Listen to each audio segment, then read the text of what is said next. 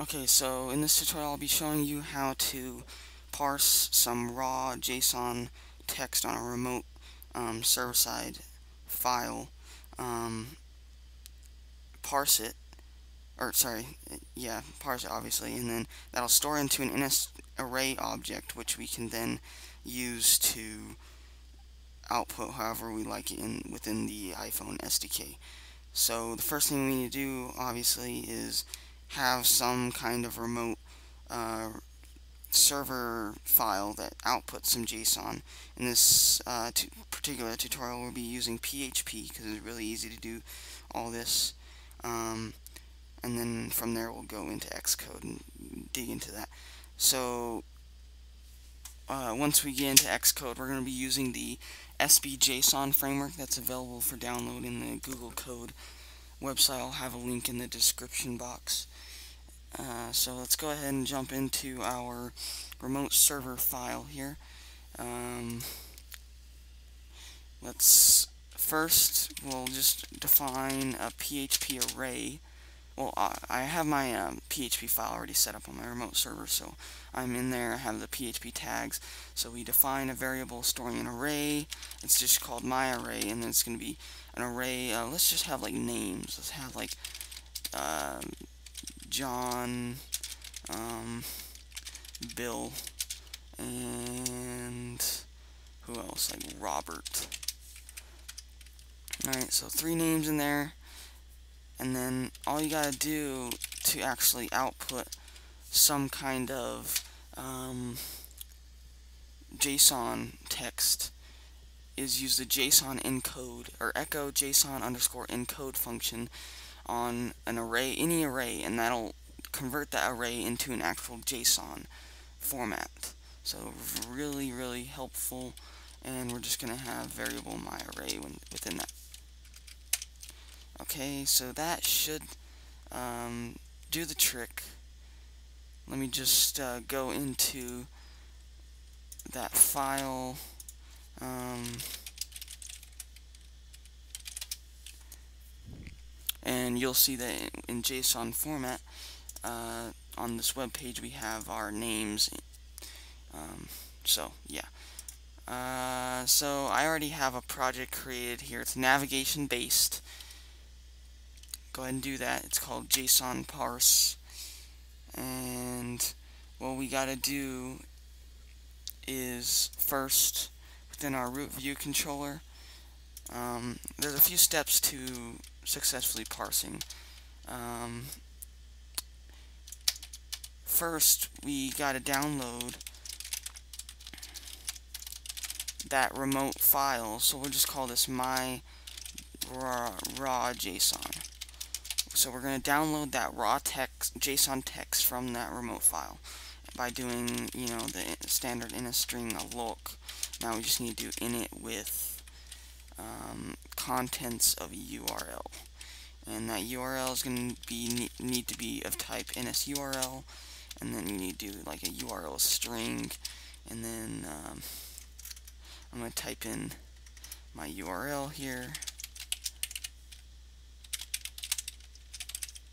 slash JSON. So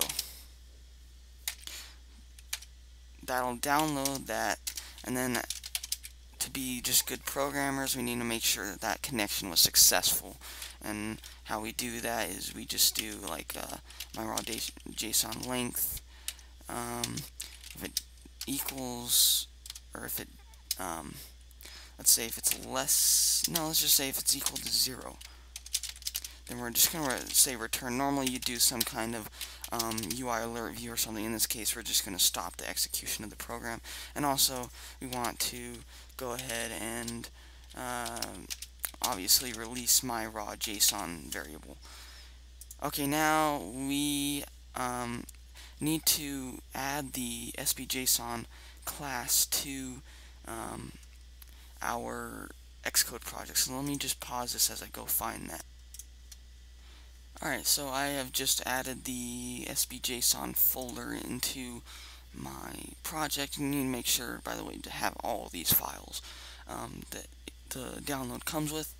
Um, and we just need to import on our root view controller the um,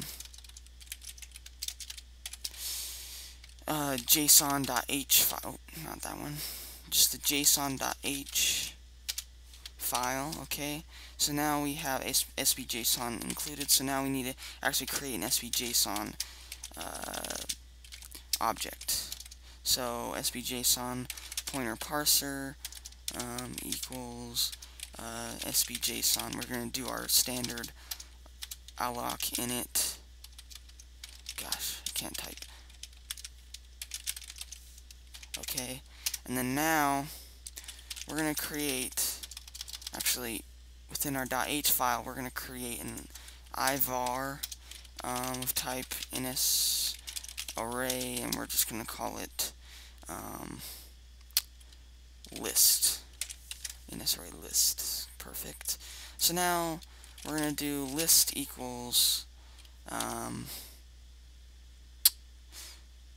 let's do this. We're going to do parser object with string. Actually, is that the correct one?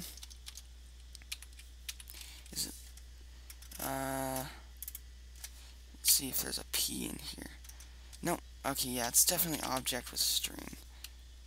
And let's go ahead and have the error parameter in there. Okay, so our init string is going to be my raw JSON, and then the error, we're just going to say nil. And then the reason why I added an extra uh, bracket there at the beginning is because we're just going to do a simple copy function at the end there just to make sure that we have retained ownership of this um, array within the list variable just to make sure. Um, and now we are done with the parser object. That was pretty simple wasn't it? And you just release it. And then now we are going going to um, do some table view stuff since we have successfully parsed our string. Um, number of sections in table view, we're just going to have one section. It's going to be a very basic table view. And number of rows in section, we're going to do list uh, count. And then our normal table view stuff. Okay, we have cell all set up.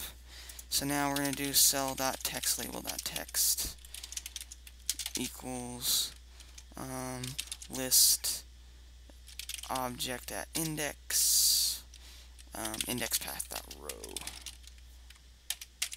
So that should do the trick. Now let's go ahead and save that, build and run. Take a few seconds here.